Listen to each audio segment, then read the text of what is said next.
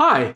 Whether you're a button mash hack and slash controller bash or a meeple moving mastermind of maps, mats, and minis, if you ruffle at the awful ruffle shuffle scuffle, or if you're a click clack pick attack number ball luck sack, we're all here for the same reason. I'm Jake. Let's talk games.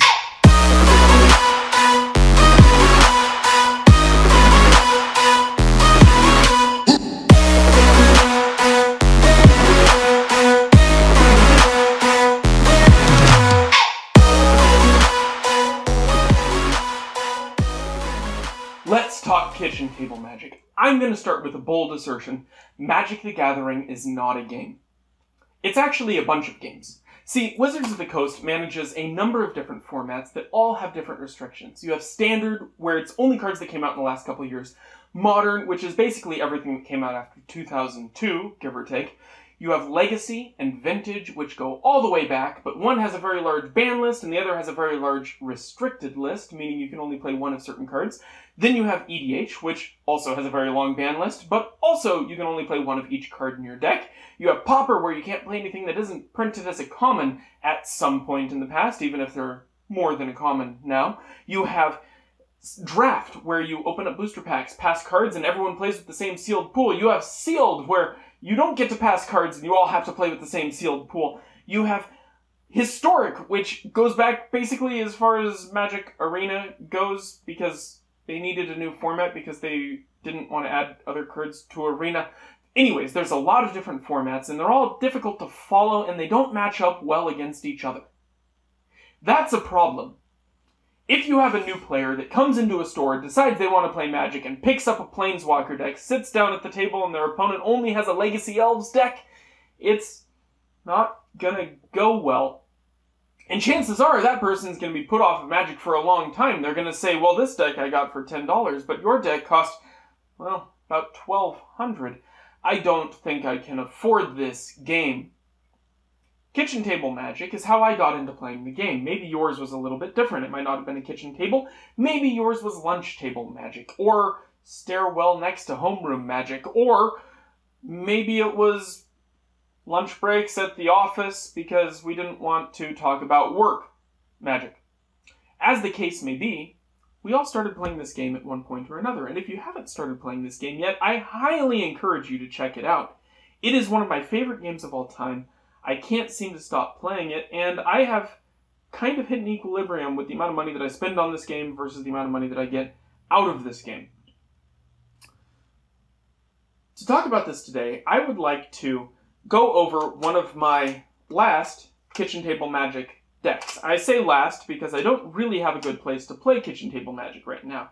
It seems everything has moved into EDH, so I have a number of EDH stuff, but no good 60 card random good stuff decks. And that's where Kitchen Table Magic really excels. It allows you to build things that are absolutely ridiculous, over the top, contain banned cards, restricted cards, cards that otherwise you wouldn't be able to play together, and do ridiculous things like decking out an infinite number of players or making an infinite, infinite, unblockable Griffin land and beating your opponent to death there are so many different options in kitchen table magic that you can't realistically play in other formats and it makes me sad to see that fall off. So i want to go through this deck. I want to talk about what's in it. It is a mono blue high tide deck. It is disgustingly powerful and it's one of my favorite decks of all times. So come on over have a look. This one is amazing so, High Tide. Let's talk about how this deck works. Before we get into it, first I want to talk about a couple terms that I'm going to use that everyone is probably going to need to understand and be on the same page.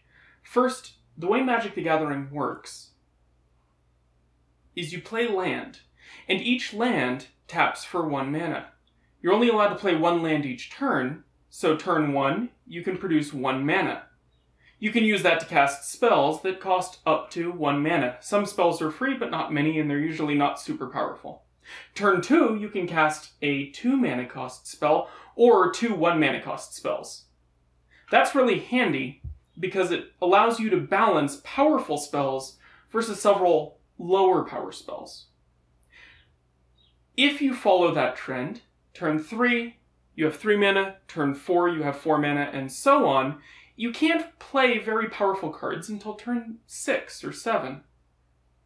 If you follow that curve, this is known as fair magic. If you don't play something, mana cost 6, before turn 6 you are playing fair. Our goal is to turn that on its head and play as unfairly as possible. We are trying to accelerate much faster than the one land per turn limit allows us to. So let's begin. Why is this deck called High Tide? Well, you'll notice we start with a bunch of islands. But that's not why it's called High Tide. The reason is this card here.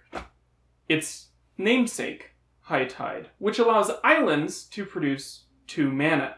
This means on turn 3, we get to play like it's turn 6.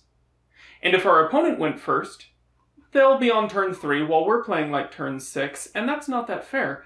But if we went first, they're only on turn 2. They have 2 mana to play with, while we can potentially make 6.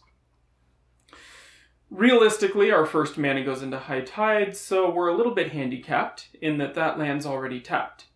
But we have ways of fixing that. So the next few cards all allow us to draw cards. Brainstorm is draw three. Impulse is look at the top four and choose one. Meditate is draw four and skip your next turn. But the way this deck plays out, we're not going to be getting another turn. This is it. Finally, we come to Frantic Search. This is the engine that keeps our deck moving. Draw two cards, then you discard two cards, which doesn't matter so much, and you untap three lands.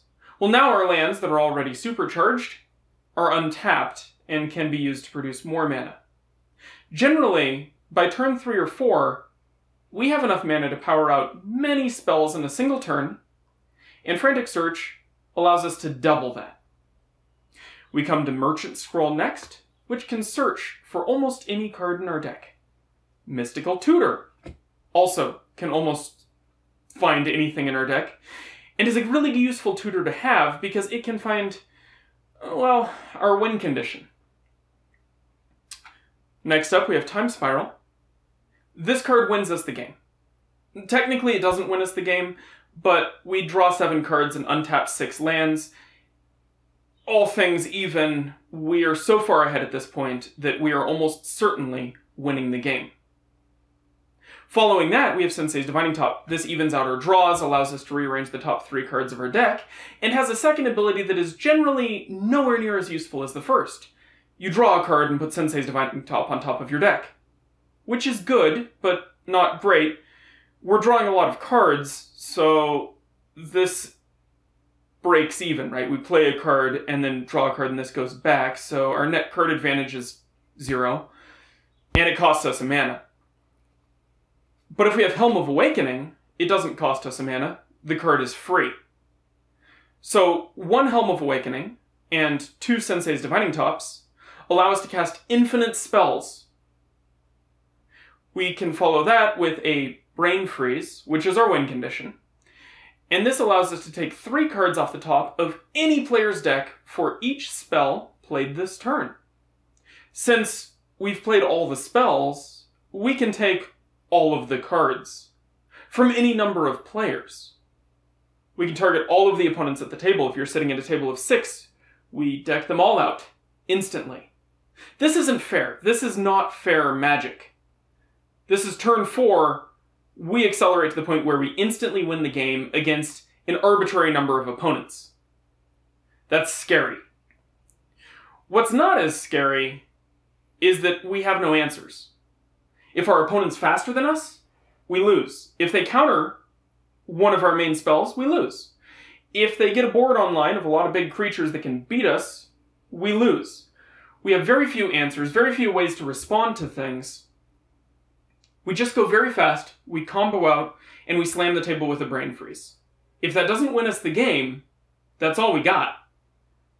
If they have a laboratory maniac, we we just enabled their win condition. They instantly win the game. So the deck isn't unbeatable. In fact, it's very beatable. but it's fast enough that it is still super fun to play, and it's actually pretty fun to play against.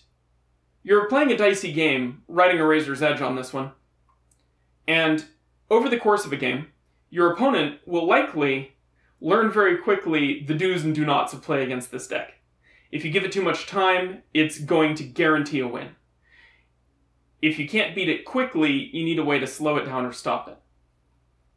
I think a deck like this helps a metagame stay fresh. If you get too used to blowing up creatures and bringing things back from the graveyard and games take forever, throw in something fast. Throw in something brutal that demands an answer immediately. This is my favorite example of a kitchen table magic deck. It's very fast and very powerful and doesn't have very many answers. But it demands your opponents have a way of dealing with it. So it's not fair by any means, but it's a fun deck to play, and it's healthy for the environment to have a couple of these. This might not work in your local game store. This might not work in your circles of kitchen table magic. Some of the cards in here I know have become very expensive, but you'll notice the deck is unsleeved. It is obviously riffle shuffled.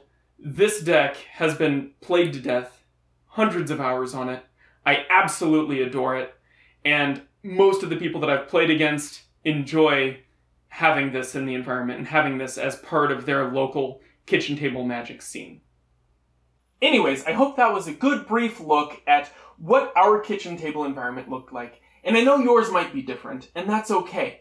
But please, sit down with your friends, make some ridiculous decks, tell some stories, create some fun times in maybe a less structured environment than you're used to. I'm Jake. I've really liked talking with you. I have a lot of links down below. Check them out. I'll see you next time.